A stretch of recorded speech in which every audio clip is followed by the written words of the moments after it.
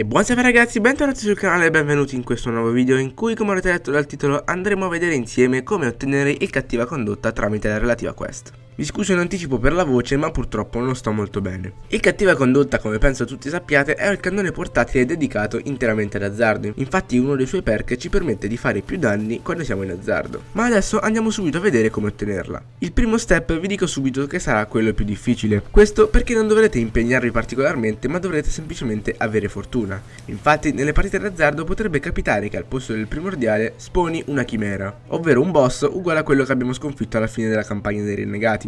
Come ho già detto questo è totalmente random, alcuni dicono che per farlo spawnare bisogna uccidere il bersaglio del tuo profilo, che questo faccia a sua volta spawnare tre piccoli bersagli che una volta uccisi appunto faranno spawnare questa chimera. È effettivamente vero che una volta ucciso il bersaglio tuo profilo questi tre piccoli boss compaiono, ma io li ho sempre uccisi e la chimera mi ha spawnato solamente 3-4 volte. Inoltre questo boss sarà molto più difficile da buttare giù rispetto a un primordiale normale e spawnerà a tutte e due le squadre, quindi se noi abbiamo evocato il primordiale e abbiamo trovato la chimera, quando gli avversari evocheranno il loro primordiale troveranno appunto una chimera. Un consiglio che vi posso dare per non farvi sfuggire l'occasione di ucciderla al primo colpo è quello di stare attenti delle piccole piaghe corrotte che si trovano ai lati di questa e che la rendono immune. Quindi appena vedete che questa diventa immune, guardate subito in alto a destra e a sinistra e fate le piaghe più velocemente possibile. Una volta che avremo ottenuto la quest, dovremmo semplicemente andare a parlare con il Ramingo. Questo ci darà subito il secondo step, ovvero quello di sconfiggere 25 boss corrotti. Questi noi li abbiamo uccisi nel settore perduto di Rea Silvia sulla città sognante. È un metodo abbastanza veloce perché si può raggiungere il boss senza fare tutto il percorso. E in una mezz'oretta ce la siamo cavata.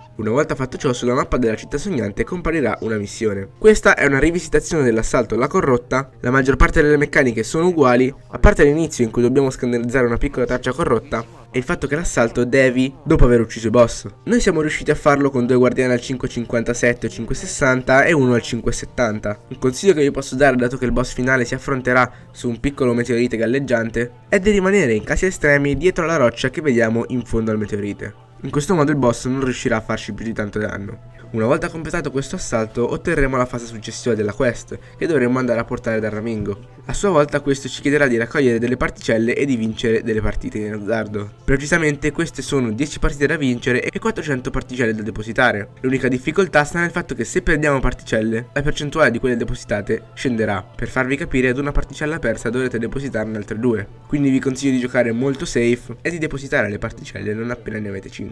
Una volta completata anche questa fase raggiungiamo l'ultimo step della quest. Questo ci chiederà di sconfiggere 25 guardiani in azzardo e di effettuare delle uccisioni da invasore. Per quanto riguarda i guardiani, questi valgono sia per quando invadiamo che per quando veniamo invasi. Le uccisioni da invasore invece vanno un po' interpretate. Questo infatti ci chiede di effettuare dei full team, ovvero di uccidere tutti e quattro i guardiani quando invadiamo. Tuttavia c'è una facilitazione. Infatti abbiamo due possibilità. O effettuare noi un full team una volta invasi, oppure far effettuare tre full team dai nostri alleati. Io per esempio mi sono fatto carriera alla grande con i tre full team di un alleato. Una volta quindi che avremo completato anche quest'ultimo step, ci basterà andare dal Ramingo e riceveremo l'arma. Quindi ragazzi questa era la guida su come ottenere il cattiva condotta e il cannone portatile di azzardo. A breve uscirà anche la recensione sul canale quindi non perdetevela. E direi che se il video è stato utile lasciate like, commentate, condividetelo di tutti quelli che conoscete e che non conoscete che c'è la trallissima Seguiteci anche su Instagram, Facebook, come ogni video vi lasciamo qua sotto in descrizione anche da bellissimo, nuovissimo, fantasticissimo sito. E detto questo ci vediamo alla prossima, ciao